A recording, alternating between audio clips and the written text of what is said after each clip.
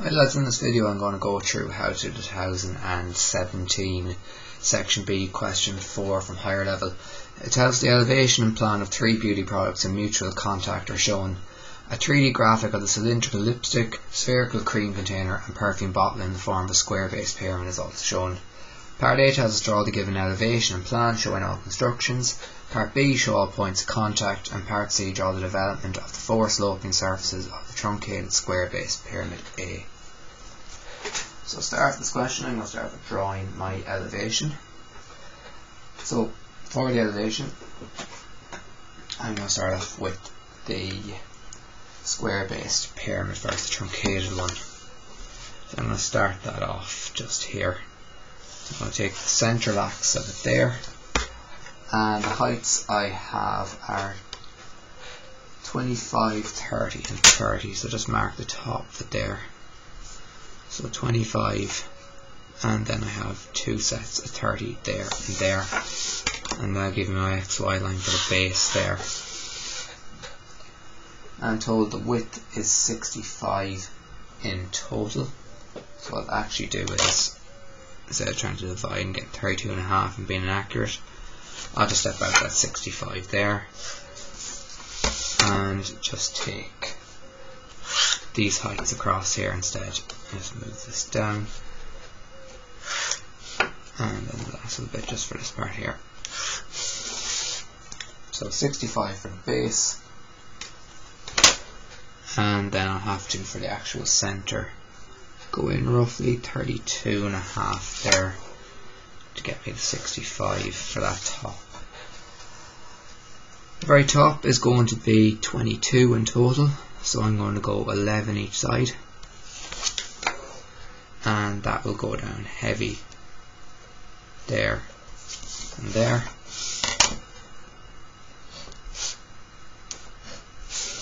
give me then for my truncated part of my pyramid.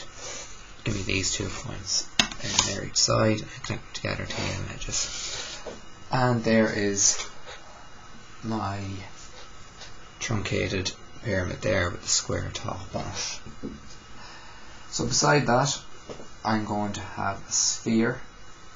And I'm told that the sphere is going to be 30 mil up from the ground so it's going to be up 30 and you can see from the plan it's a radius of 32 so all I need to do is to find that center point.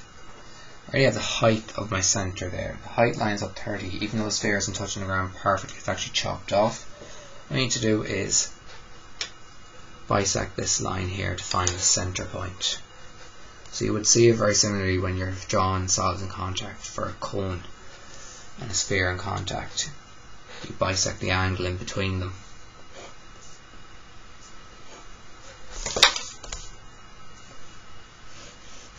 and that'll give me that point there. And we know that the point of contact is going to be perpendicular to this edge here. So we take this like a tangent edge. So we take our 90 degree edge there. And where it passes through the center that's going to give me my point of contact here for this side and then I can take my radius 32 then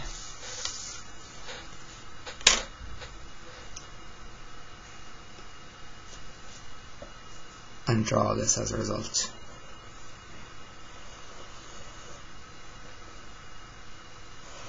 So you can see it goes below the surface there. Just enough for where it hits the ground there and there. And the rest of it is drawn in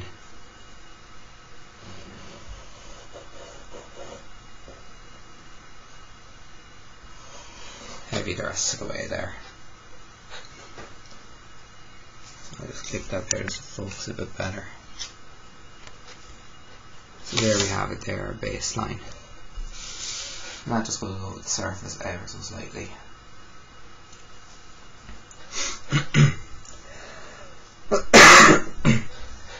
Then we have a sphere then of radius 16 is in contact with this sphere here. So what we know about it is if I just take a random line up here, the centre is going to be 16 mil off the ground. So if I measure 16 up, somewhere along this line here going to be the centre point. So if it's 16 mil away from the ground and it's in contact with this sphere, that means the centre must be 16 mil further away from the circumference of the sphere here. So what I'm going to do is I'm going to add on 16 to this one. And we want to find a point that is 16 mil away at all times from this circle here. So what we do is we just get our compass and we take that added radius together. And we can find no matter what there's always this point here for example to here is always going to be 16 away from here to here 16 here, here 16 etc and where they cross it's going to give me the center of my new sphere and we know that the point of contact for two spheres always lies along the center point. So if I connect center to center there's my point of contact and I just take this down here. That viewer touches off the ground. I can now take that radius 16 and draw my sphere there as a result.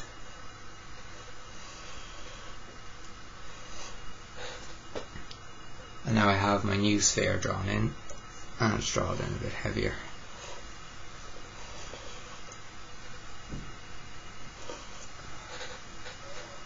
And now that I have all that drawn there and I have my points of contact labelled there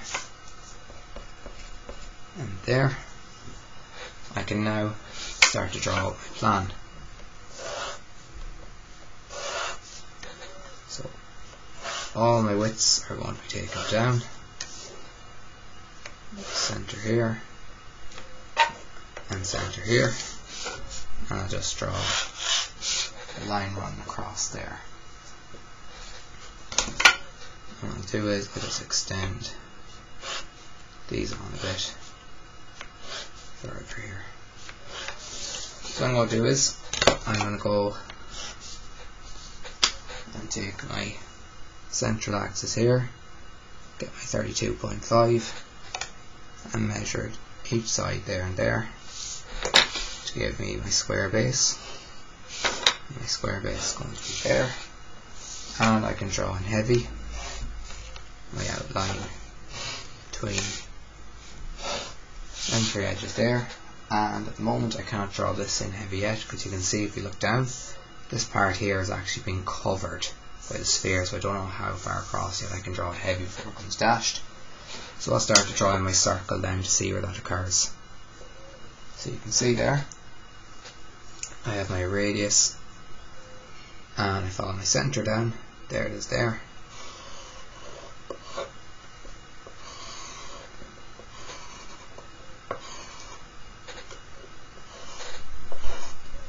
And there is my radius 32 for the outside one. I can then draw it in heavy here, go dashed across there, and finish off heavy there. And now just to complete my truncated pyramid, join my corners,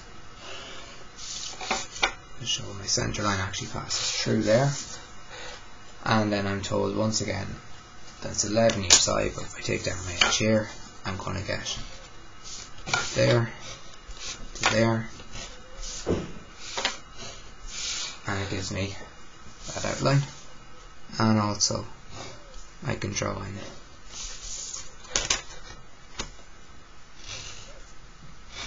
them curves there. And you can see that it's actually circular top on it. So I take my radius from here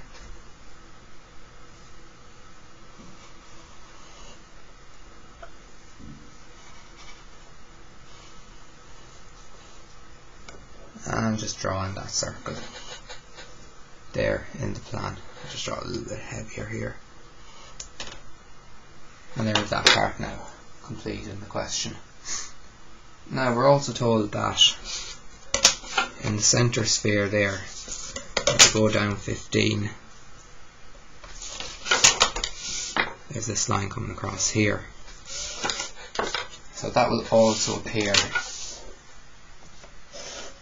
as a circle in plan. All it did like that part was cut off. So next then I come this out. Because on the top I'm going to be able to see it. So it's going to be heavy all the way around.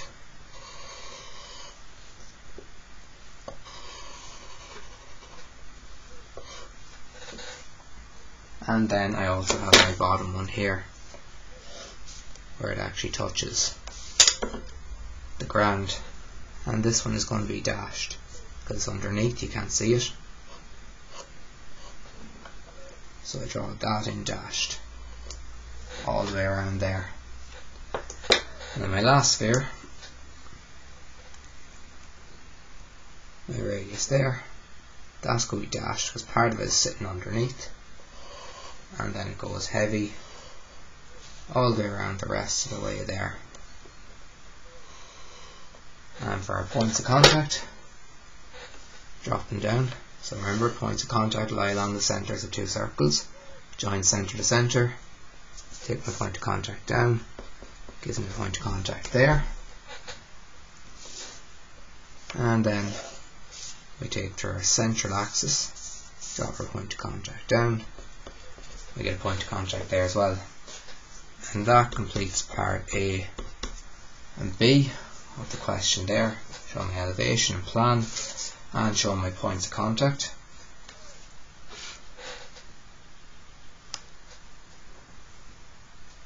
Apologies it's actually it's a cylinder. It's not actually a sphere. So I just need to rub this out. Apologies for that. You can actually see it in the question. So what that should be is a cylinder and the centre of the cylinder will occur along this line here. And we're told it's 86 long in total. So that should mean is it should be 43 each side. So I just assumed it was actually just a sphere in contact when I looked at the elevation. So always make sure to actually check the question properly. I always assumed just like I did there what it actually was. So the widths will stay the same there. Take extreme points out each side. And what you'll now get is you get that line running to there. It's being blocked at that point there. So behind there is always going to be dashed. So points of contact still lie along there at that point. Put back in my point of contact and I can draw that there draw this heavy across here. And now I also have a 60 degree angle that occurs where this line crossed there from the point on the circumference. To that point there. And just get my 60 degree. And 60 degrees going the opposite way so that means it's going to be 30 going up this way. So there's where I'd have my 60 degree angle in there so in between these two surfaces so obviously that's 60 there I just took my 30 because 60 plus 30 gives you the 90 degree angle as a result and that completes part A and B now so part C tells us draw the development of the four sloping surface of the truncated square base pyramid A. So this pyramid here we're looking at. So what we know so far is that this length here, if we look at it in our elevation, that's not a true length at present. That length there is not a true length because it's tilted in the way. However, we always remember that if we have a horizontal line, a plan, it'll be a true length in elevation. So that line will be a true length for the distance from here to here to give us the top. So what I'm going to do is, I'm going to rotate this around as if it's sitting flat on the ground, as if this was a hinge point here, where it's tilting at an angle. So this side here is sitting like that, and what I'm going to do is tilt it around until it's sitting flat on the ground and when we look down in our plan from something flat on the ground we see a true shape so that'll give us our true length there so if it was a cone this would be a true length. But it's not, it's a pyramid. And because that line's at an angle it's not going to be true length. So I'm going to rotate this around. As if I flatten the side onto the ground so they're giving hinges in the base. I'm going to drop this point down. Take this across. And from here to here is a true length. So when I extend these out each side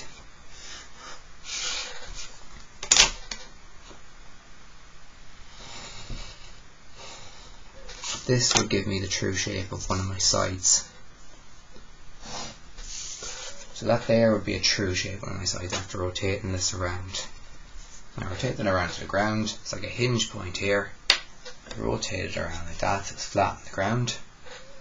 And I remember that the only reason we can prove that is a horizontal line always appears as a true length in elevation. So the distance from here to here is that length. We know that that line there is representing that edge, but we can't actually the true length because it tilts in an angle here and tilts in an angle here. So that will give us our true shape there of that. Then in order to actually draw the development then of that of them we're going to be using the exact same method as we would with a cylinder. So what I'm going to do is I'm going to extend my extreme edges here as if it was a cylinder. And we get our center point up there but just extend that in. Get our center point there. So imagine it's a cone so what we're going to do is we're going to take that. That's going to be our true length. I'm going to take a point out here. Let's get my center. I'm just going to swing an arc like that there and we're going to take all four of our sides. So I'm just going to draw this here. And the length of each of our sides, so just like when you would have done a cone, you would divide into 12 equal parts, we actually have all of our edges all there and there. So you can step out one, two, three, and then I won't have enough there, so I need to just extend this around this side here. And I'm just going to go slightly into this question here. And there's our fourth one there. So it's actually tight enough for space on this question.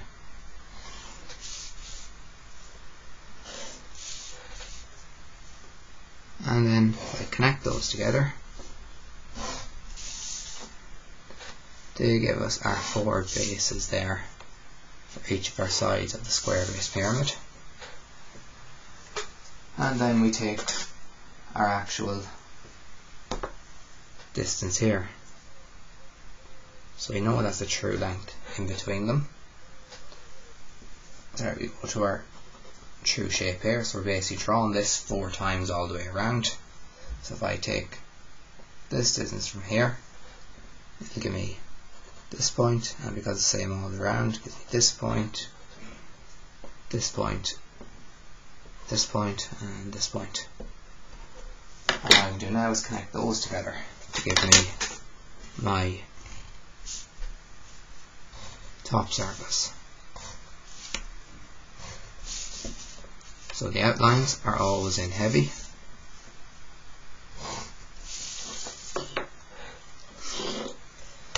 and then our full lines occur in between them. So draw all of our full lines in there.